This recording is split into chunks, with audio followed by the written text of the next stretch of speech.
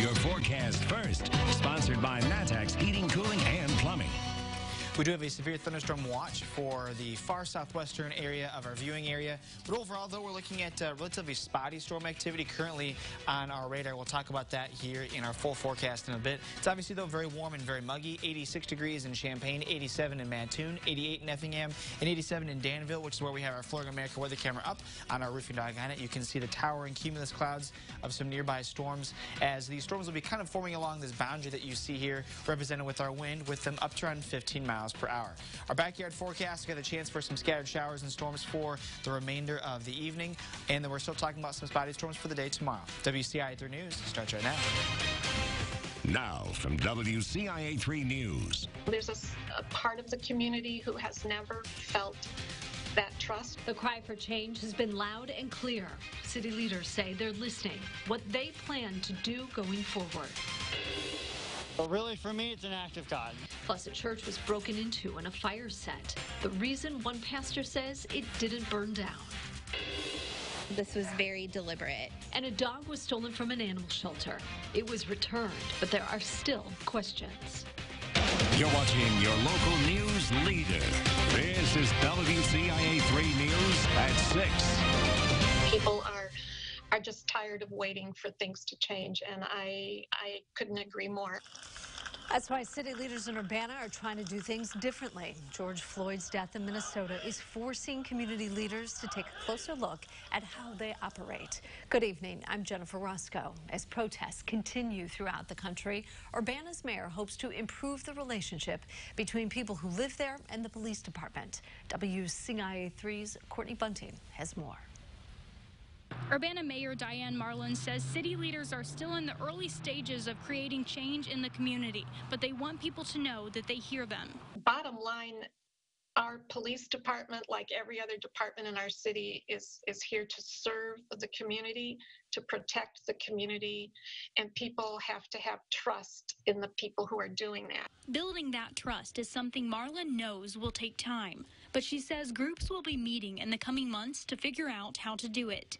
Those include the City Council, the NAACP, and state police. They'll also take a closer look at their Civilian Police Review Board, which was created 12 years ago. Um, it's time to look at those policies and the structure of that and see what, what needs to be done to really um, update it to what our needs are today.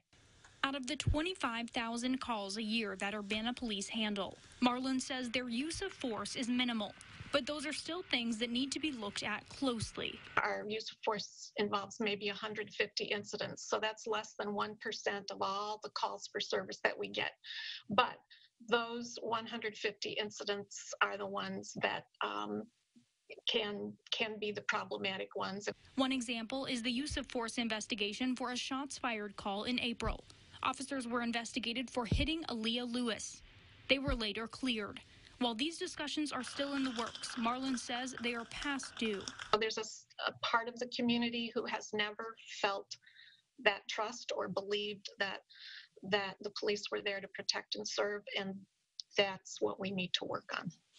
Because on the whole, our officers are good people with good intentions and they do their jobs well. But once in a while, you have um, incidents that that that don't go as well, and those are the things you need to address. In Urbana, Courtney Bunting, WCIA 3, your local news leader. Now, even though those officers were cleared for hitting Aaliyah Lewis, some aren't happy about what happened. And that was a big topic of discussion at Monday's protest. And some new information charges have been upgraded for the former officer who's responsible for George Floyd's death. The Minnesota Attorney General has also now charged the three other ex-police for their involvement. Derek Chauvin, who knelt on Floyd's neck, is now charged with second degree murder. The three others are charged with aiding and abetting second degree murder. All four were fired the day after the death. Police departments across central Illinois are dealing with overtime after the unrest over the weekend. A spokesperson for the Champaign Police Department says they called in every available officer on Sunday. Their shifts were also extended from 10 to 12 hours long. In Urbana, some worked as long as 16-hour shifts, but they say most are working 12. The Champaign County Sheriff's Office also called in extra deputies along with Vermilion County. The departments say they won't know the exact total of OT until next week. A pastor in Danville says someone broke into his church and tried to set it on fire. But the building, thankfully, is still standing. WCIA3's Jamie Mays has the reason he believes why. But really, for me, it's an act of God. Um, I really feel like that's the only reason our church is still here today. Because this place of worship could have gone up in flames. On Tuesday afternoon, Pastor Kevin Little and his wife Emily walked inside Bowman Avenue United Methodist Church and found shattered glass someone had forced their way in. There were um, a couple of things knocked over, like a bench with a bunch of piano and organ music was knocked over. I was scared. I didn't know if somebody was still in the church or if that it had happened a while before and they were already gone. The pastor says someone came in through this window, then came into the basement and walked over to the kitchen, then put two old flags on the stove, turned all the burners up, and removed the dials and knobs. Just a couple of centimeters separated the flag from the flames. Like it's it's a miracle that you know that it didn't catch. Those flags should have caught fire. And if they had caught fire, the batteries had been taken out of the church's fire alarm. The only thing they noticed missing was something used to keep bats away. At this point, they don't know why someone would do this. I hope that this person like has a chance to think, well, that wasn't a good decision. But they're remaining grateful things didn't turn out worse. I feel like this was a good sign that this church isn't done doing work for God. Reporting in Danville, Jamie Mays, WCIA 3, your local news leader. Pastor and his wife contacted police. They say they are thankful they're still able to have church with their congregation on Sunday.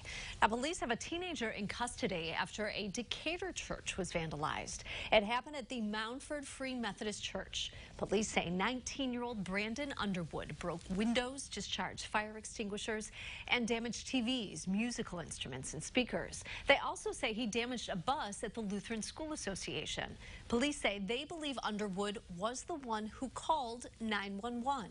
They found him at the church, covered in blood, only wearing boxer shorts when arrested. A Bloomington man is behind bars accused of a hate crime. Police say 21-year-old Marshall Blanchard rode his motorcycle into a protest rally Sunday, hitting two people. It was being held in downtown Bloomington.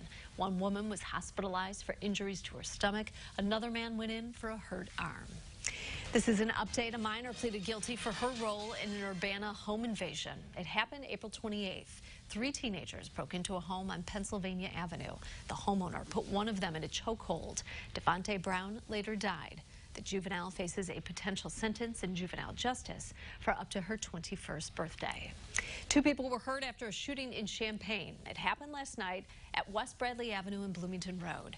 Police found shell casings when they got to the scene. Then they were told two men showed up at the hospital. A 39-year-old was shot in the arm. A 33-year-old appeared to have been hit in the face with a gun. If you know anything, call Champaign Crime Stoppers, County Crime Stoppers, the number right there on your screen. And Danville police were called this morning to the ER for a gunshot victim. When they got there, they found a 25-year-old man from Danville. He says he was at a party and outside the home on Virginia Avenue when someone came up to him and started shooting. There's no suspect information at this time. No one else was hurt. If you know anything, call police in Danville at the number there on your screen. A dog that was taken from a shelter has been found. Vermilion County Animal Regulations and Adoption Center said their shelter was broken into on Monday night, vandalized, and dogs were let out of their kennels. One was stolen.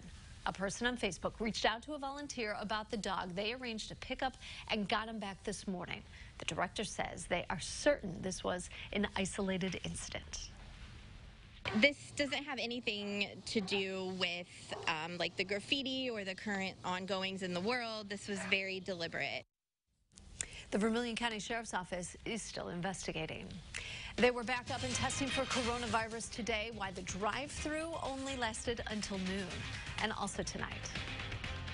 I encourage people to get out of their comfort zone. He's an Illini favorite. How Georgie is hoping to bring a light to many during a dark time. We've got some spotty showers and storms to talk about for the evening hours, including the pot potential for some of them to be strong to severe. We'll take a look at our almanac, though, because before these storms started to pop up, it was obviously very hot. 92 degrees was the high temperature today, well above our average of 79. And coming up, we are looking at a hot and muggy forecast of storms still over the next few days, but it will be nice and comfortable for the weekend.